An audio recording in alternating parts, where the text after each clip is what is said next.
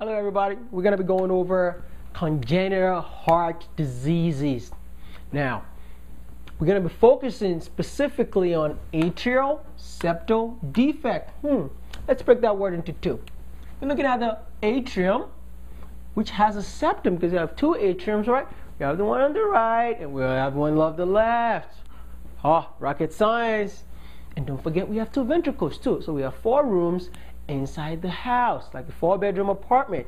That is the heart. Now, every bedroom has a wall. That's good. You don't want to know, you don't want the, what they're doing in this side of the room to, the guy in this side of the room to find what this other person in this side of the room to, to know what they're doing, right? So they have a septum. It's an atrial septum, right? It's a septum between the right atrium and the left atrium, right? And a septum between the right ventricle and the left ventricle. Genius. Look at that. However, occasionally there might be a hole in between either the right atrium or there could be a hole between the right ventricle and the left ventricle. So this wall is called the septum. That's what separates both ventricles and the atrium. Now in this case, we're only focusing at the top. We're only going to focus on the atrial septal defect. When you're born with a defect, congenital, right? When you're born with it, it's not your fault, right? You didn't cause it. We call this atrial septal defect called ASD. Now there's two types. There's an ostium primum and an septum primum. Now let's break those words into two. Like ostium primum is basically a little bit up. So let's draw the septum. So I'm breaking out. This is the right atrium and this is the left atrium. And this is just the roof of the house, okay? Nice little apartment buildings. If it's really, really, really high up, the cardiologist named it a fancy name. They call it the ostium primum. Prime, primum, the ostium, right there. There's an os, there's a little hole at the top. Now, if this is the septal wall and it's a little bit on the lower side, right? On the lower side between the right atrium, right, and the left atrium, we call that septum primum. So they're both primum. The one that's closest to the septum, they call it septum primum. The one that's closest to the ostium, at the top of the building, right? It's a little hole at the top of the wall. That's it. That's all you gotta know. But what you need to understand is 80%, 80, 80% of all atrial defect, it's gonna be ostium primum, ostium primum, 80% of ASD. But before we move forward, for you to understand congenital heart disease, you need to master the circulation around the heart, which is pretty easy, right? Blood normally will come from the head and will come from the lower side of the body. It's going to come in through the inferior vena cava. Everything from the lower extremities. And everything on the top of the head is going to drop eventually in the superior vena cava, superior inferior. They're going to come together, right, and dump blood into the right atrium. And the right atrium is going to take that deoxygenated blood, right? This is not a lot of oxygen in it. It's going to take it and dump into the right ventricle. Now, the right ventricle is going to take that blood, right, and squeeze the systole and pump the blood through this blue it's not blue, it's just a fancy because it's deoxygenated. It's going to go through the pulmonary arteries, which is now going to go into the lungs. The pulmonary artery is going to become the smaller pulmonary capillaries, like a pulmonary arterioles, which is eventually going to become pulmonary capillaries, which is now going to take oxygen from the, and take a nice deep breath, exchange with carbon dioxide. The oxygen is going to make the uh, red blood cells turn red again. Ooh, we're ready to pick it up now I'm going to take it through the pulmonary vein right up into the left atrium. So there's always oxygenated blood in the left atrium.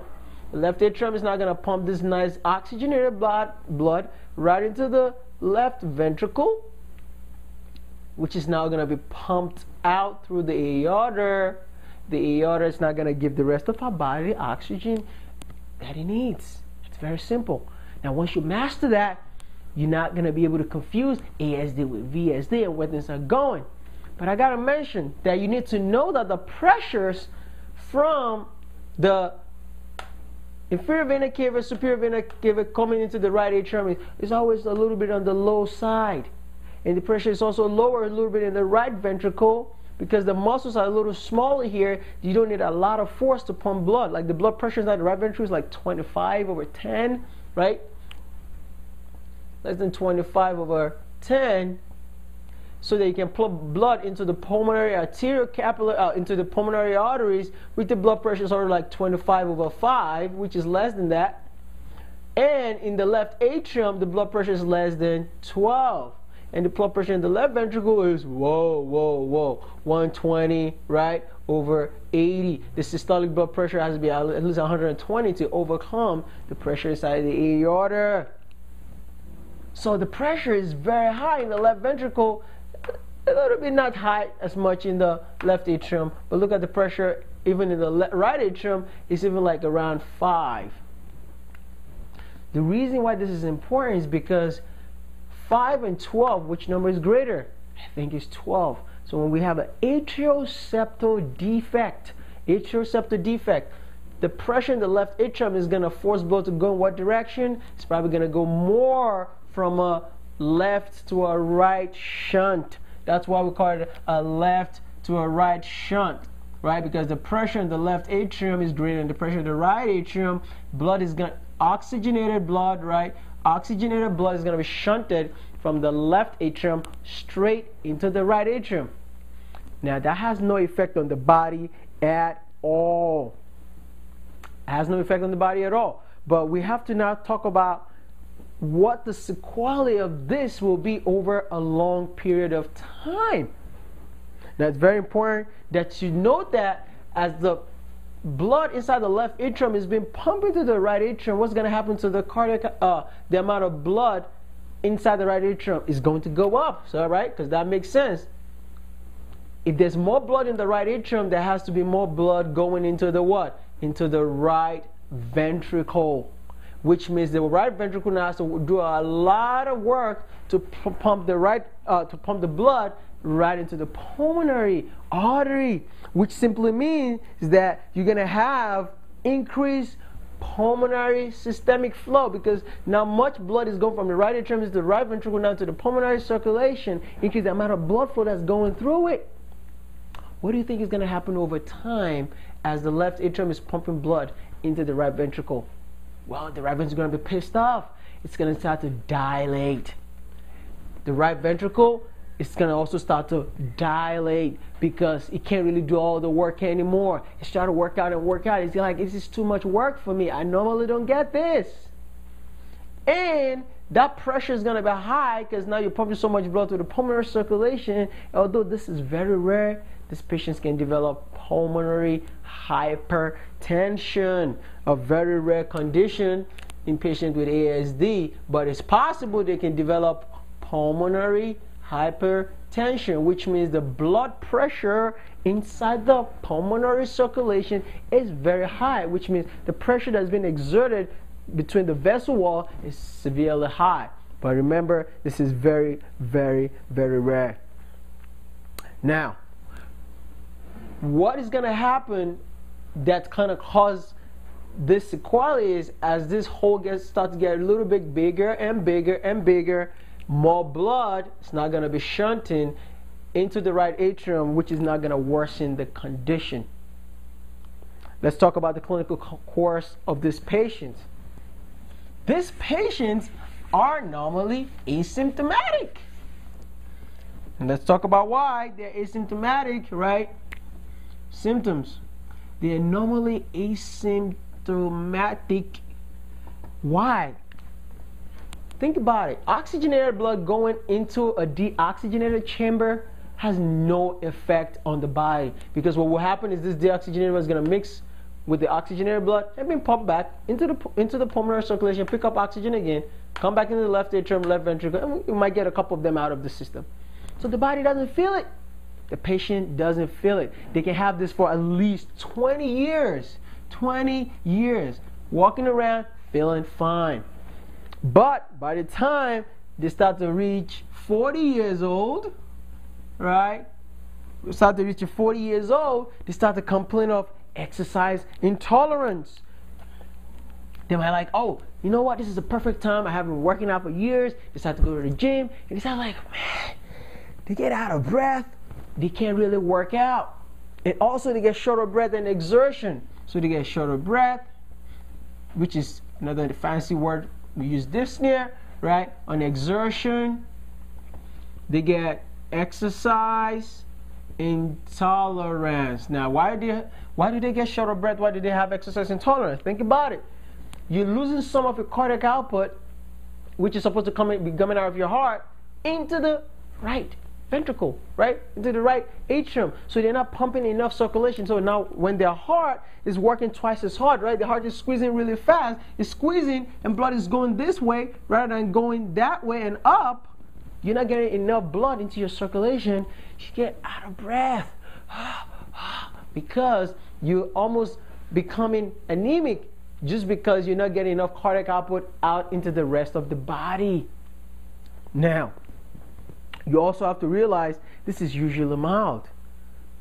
These patients can also have a normal lifespan over the period of life, but when they start to develop symptoms, usually they complain of exercise intolerance, you feel fatigued, and short of breath. When you look, you look at the patient, what are we going to see on physical exam?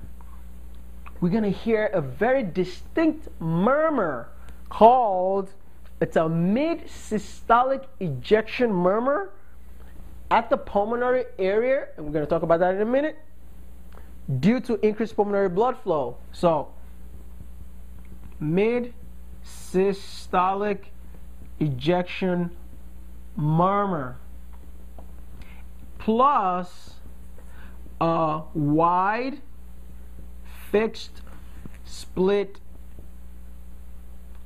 fixed split S2 sound. Now, how are they going to develop this? Think about it. Mid systolic ejection murmur. If you have a lot of blood inside your right ventricle and the blood is trying not to go out into the pulmonary artery, there's a lot of blood going out into the pulmonary artery. Now, during systole, what happens? The pulmonary artery opens, the aortic valve also open. But during that time, your right atrium and your right, uh, um, I'm sorry, your tricuspid and your mitral valve, they close. So you hear your S1, right? You hear S1 and you're happy. However, because there's a lot of blood that's going out into the pulmonary circulation, you're going to hear a fixed split. It's going to be like S1, S1, S1,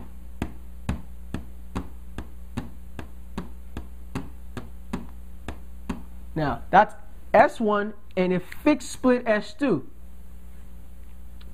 It's literally one, two. Because the blood inside the pulmonary circulation is higher, so you can hear the fixed split. It's always splitting the S2 sound, but remember there's a physiologic split. There's a physiologic split when you tell somebody that's normal to take a deep breath in, when you listen to the pulmonary component right here in the second intercostal split on the left you're going to be able to hear that split S2 sound like that. But that's always during inspiration, that's normal. But if you hear this fit, widen, thick split S2, that is telling you the patient has a atrial septal defect because the blood is so high inside the pulmonary circulation, and that's why they have that. And they also have, that's also the major cause of the mid systolic ejection murmur you might be able to hear a diastolic rumble. A diastolic rumble. Let's talk about that. A diastolic rumble in the patient because this usually across the tricuspid. What happens as the blood trickles over into the right atrium, it flows and touches this tricuspid valves, and may be able to hear that diastolic, diastolic rumble right in the left lower sternal border in the tricuspid region. And this is all just due to increased blood flow flowing down through that, through that area of the tricuspid valve. So, but the key is remember wide fixed split S2, wide fixed split S2, wide fixed split S2 with a mid systolic ejection murmur, classic for atrial septal defect. How are we going to make the diagnosis? Well, making the diagnosis is very easy because what we are going to use is called transesophageal echocardiogram. TEE. We're going to use a transesophageal echocardiogram. We're going to put a scope down through your esophagus, look at the back of the left atrium because we're going to be seeing the back of the atrium, but the left and the right, and be able to see if you have a little hole in between your right atrium and the left atrium. We can order a chest x-ray, and chest x-ray will show us dilated pulmonary arteries, right? It's going to be dilated because what will happen is as there's so much blood flow, so see this is your heart, right?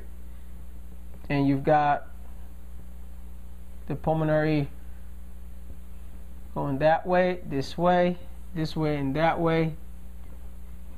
What you see is they're gonna be all this pulmonary artery is gonna be dilated because there's so much increased blood flow go into the pulmonary circulation. So you're gonna be able to see that on chest X-ray. If you order an EKG, which is an electrocardiogram on the patient,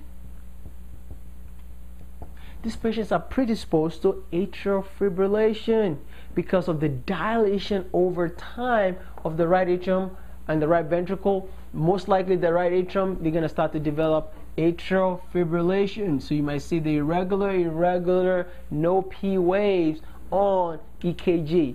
They might also have a right ventricular a right bundle branch block, right? So you look at lead V1 and lead V2 and you see something like this. And R, S, R prime.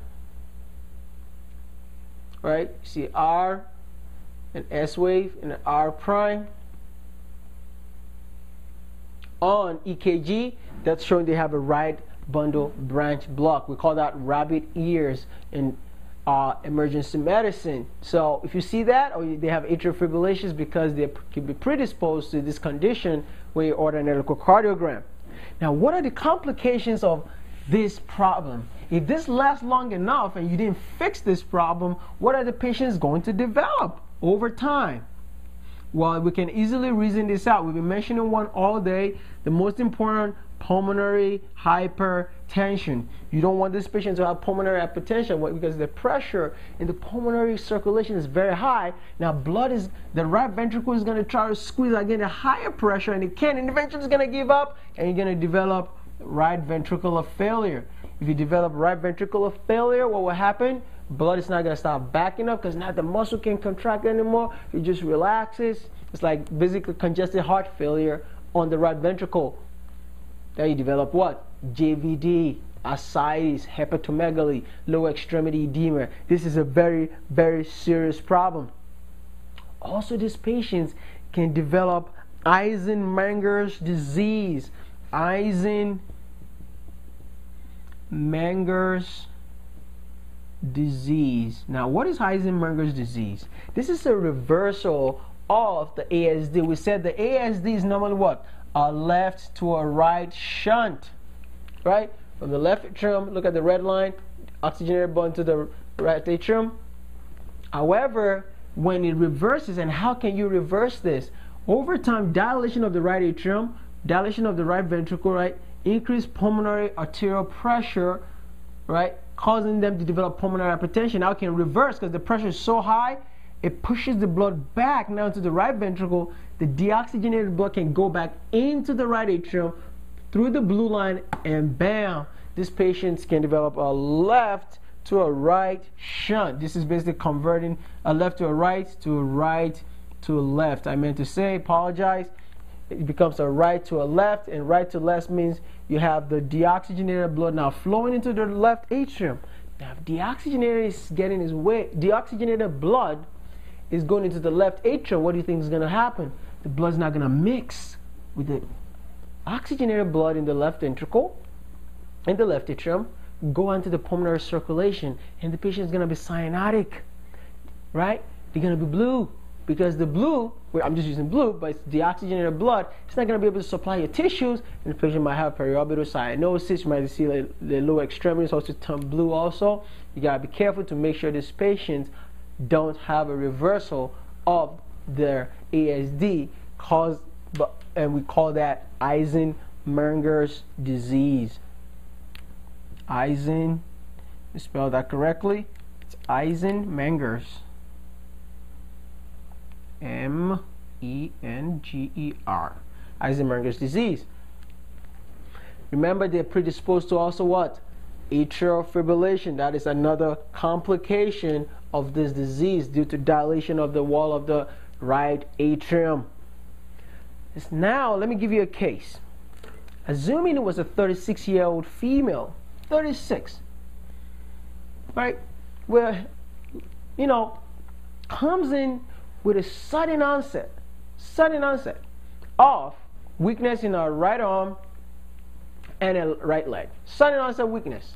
She couldn't move. She has no medical history. She has no surgical history, no allergies. She's not taking any meds. She's not on birth control pills. She's perfectly healthy. 36 year old girl develops a stroke. Onset on the right arm and the right leg. When you listen to the heart, you heard a fixed split S2 sound. What do you think caused the stroke? The patient developed a stroke from a paradoxical emboli due to, oh, I'm sorry, I take that back. Well, but from an atrial fibrillation.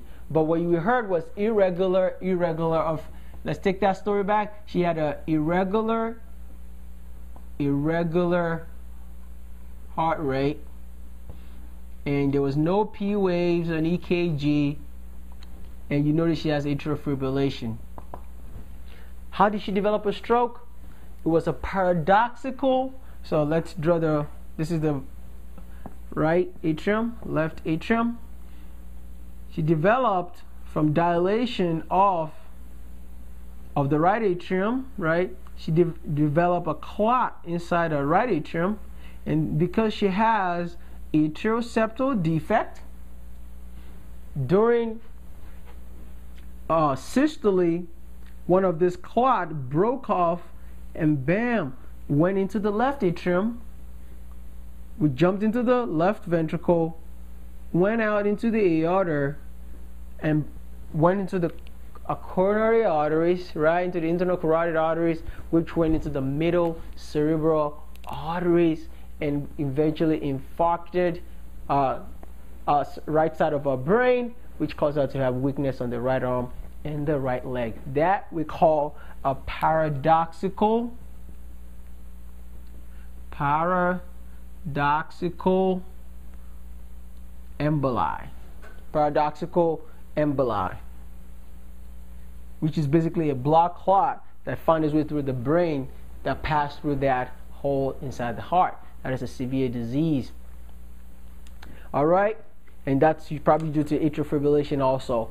But if you ever see that case, that's usually what causes it. You don't want this patient to develop a stroke, so how do we treat it? We surgically repair it, right? So the cardiologist is going to go in there and put uh, and close up the valve, uh, close up the opening so that there's no connection between the right atrium and the right uh, and the left atrium. All right. Okay, that brings us to the end of atrial septal defect. Remember, these patients are usually asymptomatic. They don't develop symptoms until they are 40 years old. Understanding the circulation around the heart gives you a perfect way to be able to picture it. That's why I went through the whole notion so you can understand it a little bit better. All right. Remember, treatment is surgically repaired and the patient feels fine and they're going to be able to go home and have a good day. All right? Thank you very much for watching. Till I see you again, have a good day. Bye bye.